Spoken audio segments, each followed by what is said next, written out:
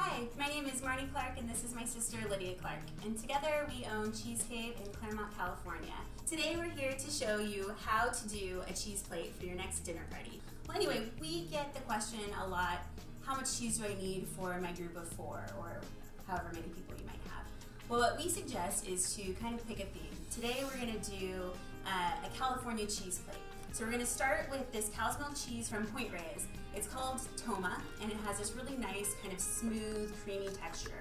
Uh, if you were doing a cheese plate for four people, I would say pick three different cheeses and get about a quarter pound. Most cheese shops have about a quarter pound minimum, so it kind of works out perfect for four. Uh, so Lydia is cutting up the Toma, and what's interesting to kind of note about how to uh, cut and prepare cheese is that you want to keep your rind even, so that each person has the same amount of rind on each piece of cheese.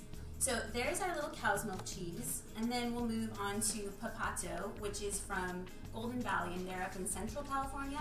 And this is a sheep milk cheese with whole peppercorns in there, has a much drier texture. So we want to make sure that we're varying uh, the types of milk and also the texture of the cheese itself. So this one has uh, kind of a dry pecorino-like uh, texture to it, which is a nice addition to something after uh, that really smooth cow's milk cheese.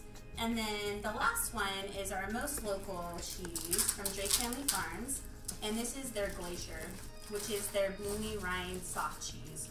It's really fantastic. It's a goat milk cheese and it has, so they come little discs. They, the whole thing weighs less than a quarter pound. And honestly, for a group of four, you probably just need half. So keep the rest. You can eat it for breakfast or something like that. Uh, so the Glacier has a bloomy rind and a nice kind of tangy, creamy uh, mouthfeel to it.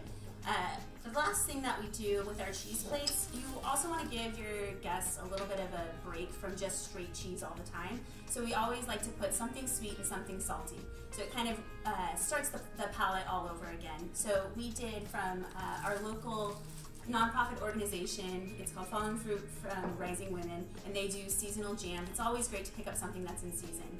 And then we did dried figs and Marcona almonds. And there you have a cheese plate for four that'll dazzle all your friends. And that's how to do a cheese plate for your next party. Thanks.